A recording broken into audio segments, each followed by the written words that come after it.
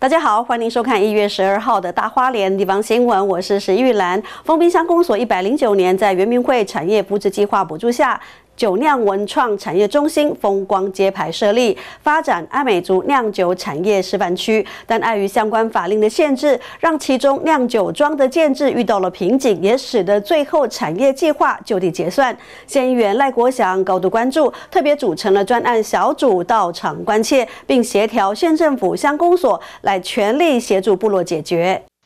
一百零九年，丰滨乡酒酿文创产业中心风光揭牌，后续包括原住民传统酒酿文化保存推广、专才培力认证、产品开发等，全都已完备。但酒厂或酒庄的设置却卡关。县议员赖国祥高度关注，特别组成专案小组到场关切，找到一个可以让这个酒庄，就是让财政部可以呃同意的的操作方式。那可能也希望说，在座的长官是不是有有方法解决？其中坐落在石梯坪的到位酿工坊设置问题较为复杂，而且又位在自然保育区内，要突破难度高。议会专案小组与县府农业处、建设处以及环保局都市计划科等单位集思广益，寻求可能的解决方案，协助公所与族人推动。是啊，那那我们这样看的话，应该它没有不会超过那个最大新建面积啊，不会超过的，就它增建情况，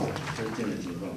增建的情况应该不会超过。增建的情况一定申请。对对对对对对，你就是把增建的情况就当做你未来要做那个农粮产品加工室。以农业制裁室申请审核闯关，县府建设处与地震处则提点仍需面临自然保育区的法令限制。它这个自然保护区的这块土地哦，在计划内已经限制，把它限制不能做了。它后面这些容许啊、补照啊、有没有环境这些条件都都会被限制住。啊所以，所以我说他这个条件一定要先去去了解。那如果有需要，我们可以发文去念书。从申办作业流程、方向以及相关法规如何突破解套等议题，县立会专案小组与县府相关局处充分讨论，达成初步共识。啊，尤其第一个就是要送到我们农业处的容许使用证明这个部分呢，一定要先送上去，才会后续才会有监管申请的部分。然后其他财政财政单位啦，其他相关单位